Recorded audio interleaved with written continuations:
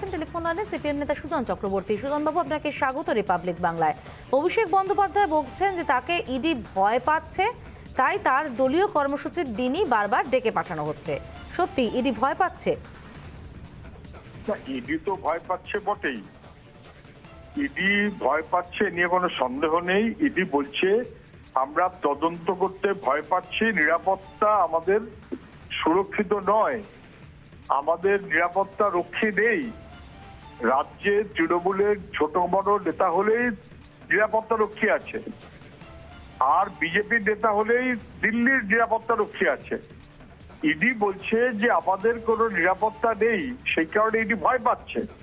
এবং ইডি ভয় পাচ্ছে বলে আসলে ইডি ঠিকমতো করে তদন্ত করছে না।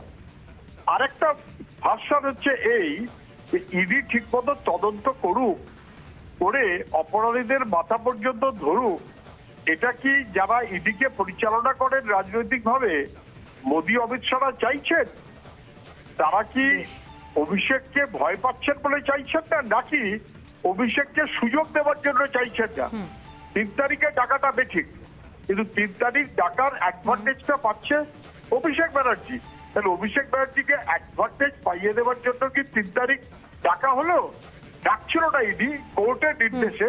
শেষ পেশ ডাকলো বা ডাকতে বাধ্য হলো এবং সেটাও তিন তারিখ, যার অ্যাডভান্টেজ যাতে অভিষেক ব্যানার্জি পায়। অনেক ধন্যবাদ সুজনবাবু আমাদের সঙ্গে কথা বলার জন্য।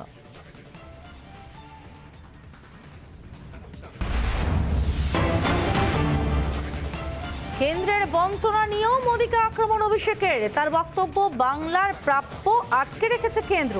হেরে গিয়ে টাকা দেয়নি বিজেপি। বাংলার কণ্ঠস্বর দিল্লিতে যাবে। মানুষের গায়ে হাত পড়লে ছাড়বো না।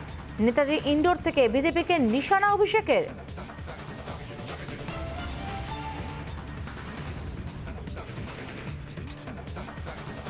বাংলার প্রতি যে ধারাবাহিক লাঞ্ছনা, বঞ্চনা এবং অবমাননা অত্যাচার, বাংলার মানুষকে ইচ্ছাকৃতভাবে নিপীড়িত, বঞ্চিত, লাঞ্ছিত, অত্যাচারিত, শোষিত করে রাখার যে বিজেপির নির্লজ্জ চক্রান্ত এবং পরিকল্পনা, তার বিরুদ্ধে আমরা সবাই মিলে, বিশেষ করে বাংলায় যারা থাকি এবং জব কার্ড হোল্ডার যারা, তারা নিজের অধিকারের লড়াই,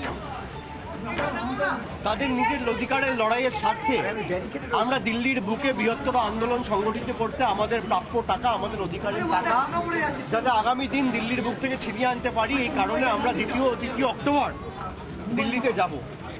গিরিরাজ সিং এর দপ্তর থেকে লিখিত আমাদের ইমেল করে জানানো হয়েছে।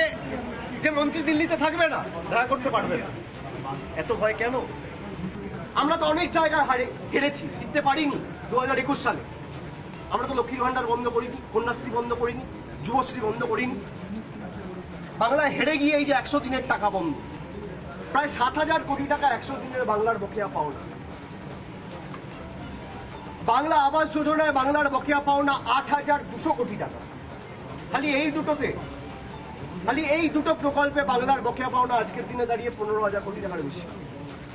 রাস্তার টাকা বন্ধ, জলের টাকা বন্ধ মিড ডে মিলের টাকা বন্ধ, সর্বশিক্ষা মিশনের টাকা বন্ধ, আবাসের টাকা বন্ধ, একশো দিনের টাকা বন্ধ।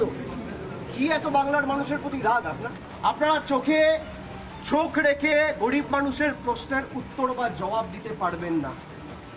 মানুষের টাকা যে আপনি আটকে রেখেছেন, প্রায় দু বছর ধরে, দু হাজার একুশ সালের ডিসেম্বর থেকে টাকা বন্ধ। এই দু বছর ধরে আজকের দিনে দাঁড়িয়ে বাংলার বকেয়া পাওনা এক লক্ষ পনেরো হাজার কোটি টাকা। এটা বাংলার মানুষকে ভয় পাচ্ছে। আর এই ভয়টা আমি উপভোগ করছি।